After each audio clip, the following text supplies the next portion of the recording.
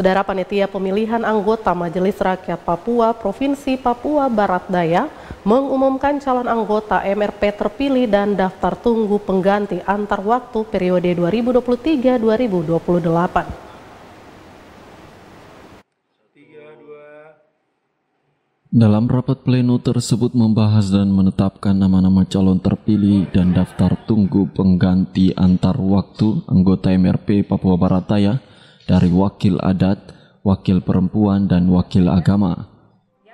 Untuk Kabupaten Sorong, nama calon terpilih tetap perwakilan adat yaitu Ehud Klaibin, Prinset Syafle, perwakilan perempuan yaitu Berte Novita Gevilem, Marice Kalalu. Untuk Kabupaten Sorong Selatan, nama calon terpilih tetap perwakilan adat yaitu Simpson Sremere, Yehuda Boltal, perwakilan perempuan yaitu Susan C. Saflesa, Sarce Jari, Untuk Kabupaten Raja Ampat, nama calon terpilih tetap perwakilan adat yaitu Mesak Mambraku, Yesaya Mayor, perwakilan perempuan yaitu Kartini Ekanden Kaisepo, Sarah Christina Elwood, dan untuk Kabupaten Maibrat nama calon terpilih tetap perwakilan adat yaitu Alphonse Kambu, Demas Idi, perwakilan perempuan yaitu Lince Atanai, Seli Karet.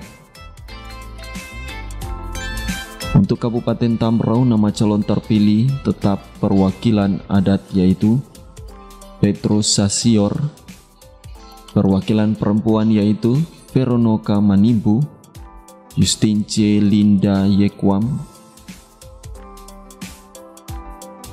Dan untuk kota Sorong nama calon terpilih tetap perwakilan adat yaitu Sulaiman Samuel Mubalen, Richard Malaseme, perwakilan perempuan yaitu Dorce Kambu.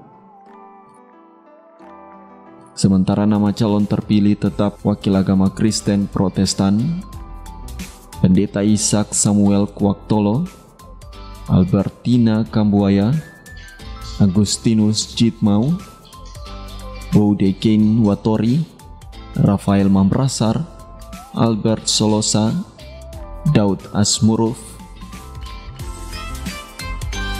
Nama calon terpilih tetap wakil agama Islam, Idris Wugaje, Rukunuddin Arfan. Nama calon terpilih tetap wakil agama Katolik, Vincentius Paulinus Baru, Crispinus Tuturop.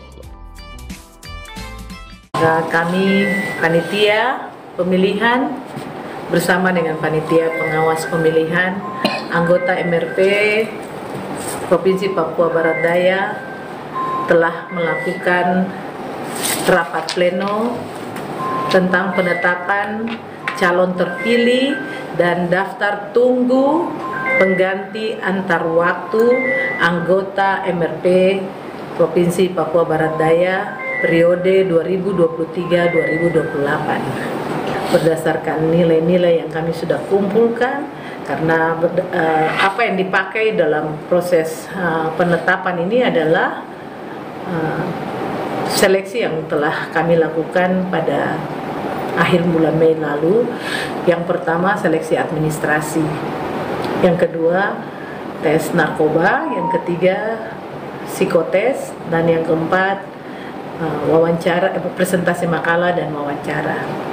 Semua nilai dari proses seleksi itu kami kumpul dan kami diskusikan dan hari ini tanggal 5 Juni tahun 2023 tepatnya dari pukul 11.15 sampai pukul 16.55 kami telah menyelesaikan uh, rapat pleno yaitu langsung dengan penetapan.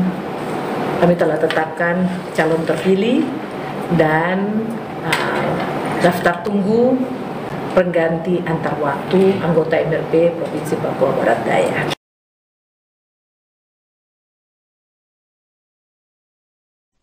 Hasim Klerei, CWM Channel.